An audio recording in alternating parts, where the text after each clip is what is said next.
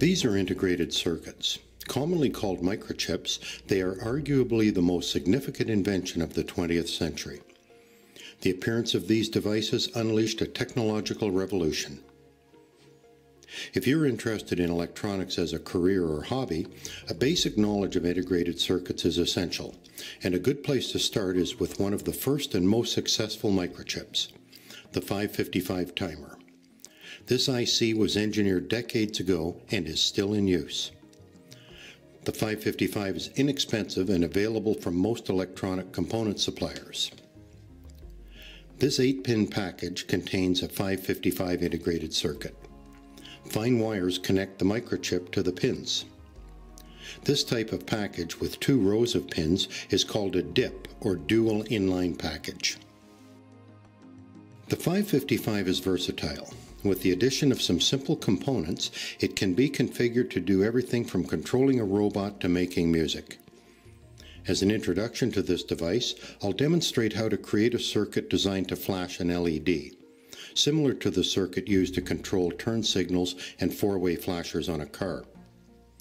If you attempt this circuit, you should be familiar with LEDs, resistors, and standard safety procedures when working with electricity. Always power your projects with low voltage batteries. We will construct our circuit on a solderless breadboard.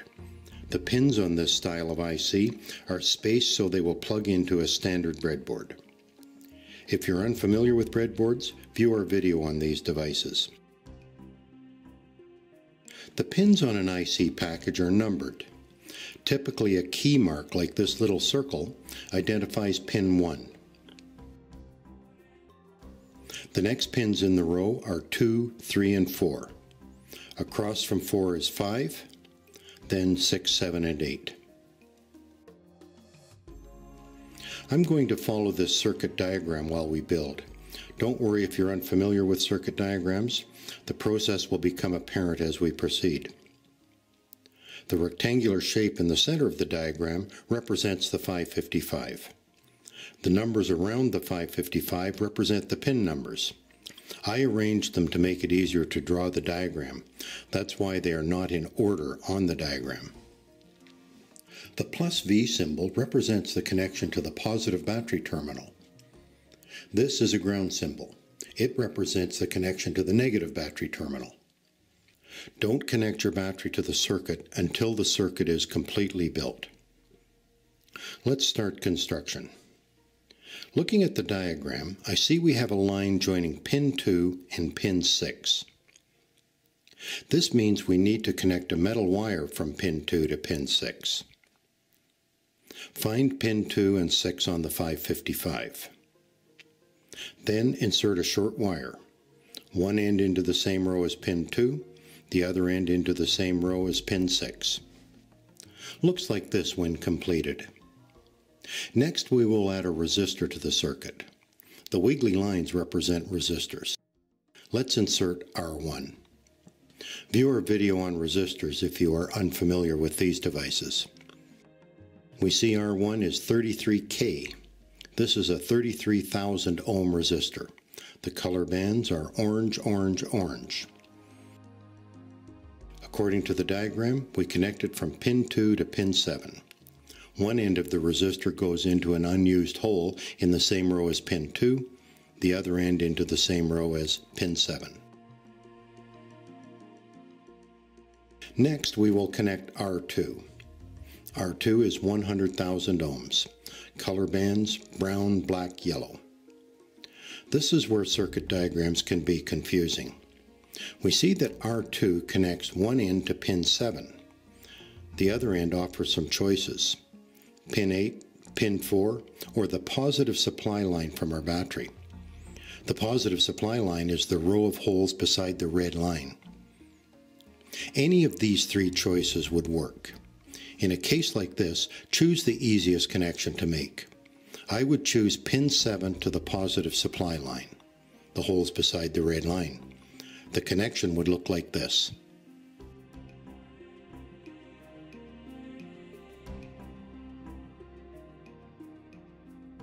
The next component we will add is a capacitor. On the diagram, it is C1. It looks like this. Capacitors are like miniature rechargeable batteries. The unit of capacitance is the farad. We need a 10 microfarad capacitor. That value is indicated on the side of the capacitor. The voltage rating is the maximum voltage that can be used to charge this device. Another important fact about this capacitor is that it is polarized. It has positive and negative terminals. The negative lead is indicated by these symbols on the side of the capacitor. According to our circuit diagram, the positive lead of the capacitor connects to pin 2, the other lead to the negative supply line. The negative line is the row of holes adjacent to the blue line.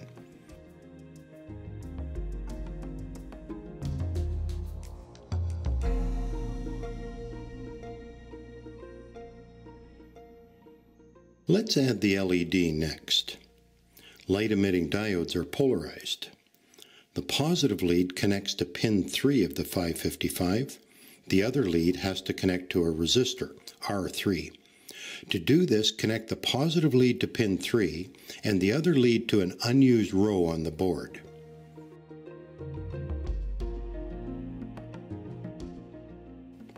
To complete the connection, connect R3, a 1000 ohm resistor, from the same unused row to the negative supply line any hole beside the blue line. We have three connections left to make, all of them wires. One wire goes from pin 4 to the positive supply line. The next wire goes from pin 1 to the negative supply line. And the final connection is a wire from pin 8 to the positive supply line. This circuit does not require any connection to pin 5. The last step is to connect the battery. I'm using a standard 9 volt battery with a half watt 220 ohm resistor connected to the negative lead. I recommend you do this as well. This resistor is a safety feature that will reduce current if you have an error in your wiring that creates a short circuit that could cause a component to overheat. The final battery connection is made with the positive lead connected to the red power line, negative to the blue line. The LED should start blinking. If it doesn't, disconnect your battery and start troubleshooting. Confirm with a meter that your battery is okay. Then check the LED. Is it oriented correctly with the positive terminal connected to pin 3? Next, check the capacitor. Is the positive terminal connected to pin 2? Confirm that all components are installed correctly. A meter is very useful when troubleshooting circuits. The capacitor and resistors control the flash rate of this circuit. Substitute a 1 microfarad capacitor in this circuit and the flash rate speeds up. Substitute a 100 microfarad capacitor and the flash rate slows significantly. It is possible to create pulse intervals ranging from hours to milliseconds. This circuit is a basic introduction to the 555. This device is actually very versatile. It can be configured to control servo motors, create sounds, drive binary counters, any application requiring a pulse generator.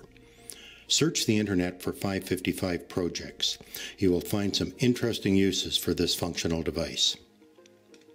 We have more science and technology projects at our website, hilaroad.com. Follow the projects link.